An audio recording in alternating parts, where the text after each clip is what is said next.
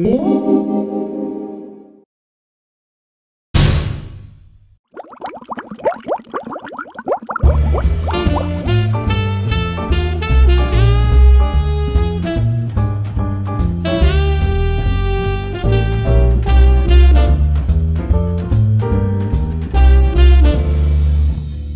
there.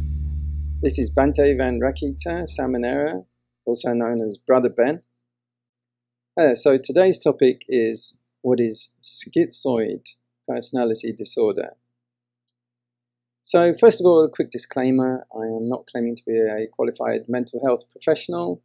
Um, I have a qualification as a diploma in Buddhist psychotherapy and counseling, I attained in Singapore and I have a lot of background experience.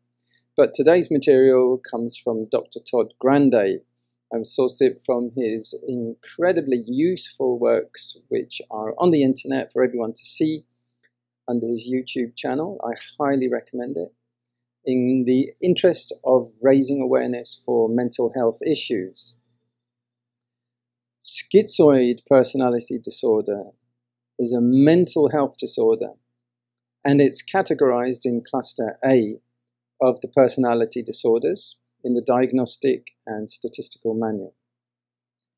So it's with other disorders like paranoid personality disorder and schizotypal personality disorder.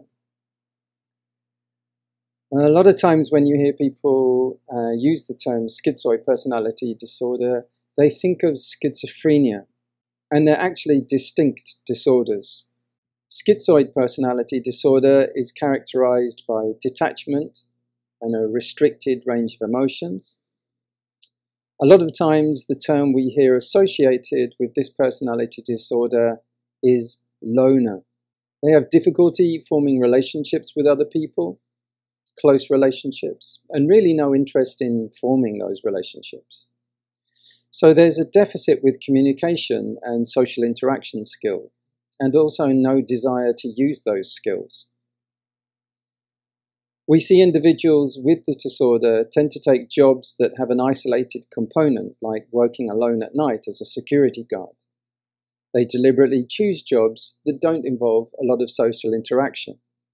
Sometimes individuals with schizoid personality disorder will have a close relationship with a member of their family, but even with the concept of family, they just don't seem to be generally interested in relationships. So it could be that somebody with this disorder has no close relationships. Oftentimes, individuals with this disorder don't move out, they don't get married. So they'll live with their parents or live alone. But we also see a decreased interest in any type of pleasure that can be gained from interpersonal experiences, including sexual activity with other people. Individuals with this disorder generally do not have an interest in sex. Individuals with schizoid personality disorder generally don't find pleasure in a lot of activities that would normally bring pleasure. They also seem to be indifferent to praise or criticism. They don't seem to respond to people approving of their behavior or disapproving. They're neutral and they tend to have a cold, flat affect. So the presentation is not typically expressive. Now, what's unusual about schizoid personality disorder is when you look at the DSM, the Diagnostic and Statistical Manual, and you look at all the different mental health disorders in there, many of the mental health disorders have a criterion that there needs to be a clinically significant distress meaning whatever the symptoms are that are associated with that disorder, they need to lead to some sort of stress for that person, some sort of decrease in functioning. That's not the case with schizoid personality disorder. There's no criterion for clinically significant distress. And a lot of times we see with individuals who have this disorder they function fairly well.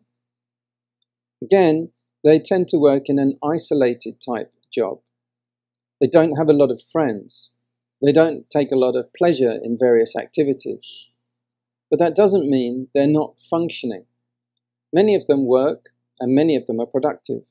So it doesn't really fit in line with a lot of other personality disorders or mental health disorders in the DSM in that regard. So if you don't have a lot of stress with the mental health disorder, do you need treatment? Well, there are treatments available for schizoid personality disorder, but a lot of times individuals with this disorder do not seek treatment. They don't view themselves as having anything problematic with their affect, their emotions, or thinking, or behavior. We see very few instances of schizoid personality disorder in a mental health community and treatment community. The prevalence in the population, though, is thought to be around 3 or 4%. So there are quite a number of individuals with this disorder and very few being treated if someone with this disorder does come in for treatment. The treatment usually focuses on coping skills, improving relationships, or building relationships, improving social skills and communication. I hope you found this description of schizoid personality disorder to be interesting. Thanks for watching. This is Bhante Rakkhita, Samanera, also known as Brother Ben, signing off. So the credit for this uh, video goes to Dr. Todd Grande. My intention is for raising awareness of mental health issues and clarifying about them. May many beings be freed from avoidable suffering.